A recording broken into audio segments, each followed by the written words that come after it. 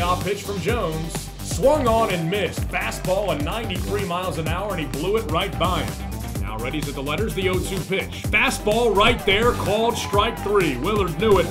Another payoff pitch to the pinch hitter, Brock Deatherage. Jones deals. Cut on and missed. Elevated heat. Strikeout number 11. Connor Jones has tied his career high.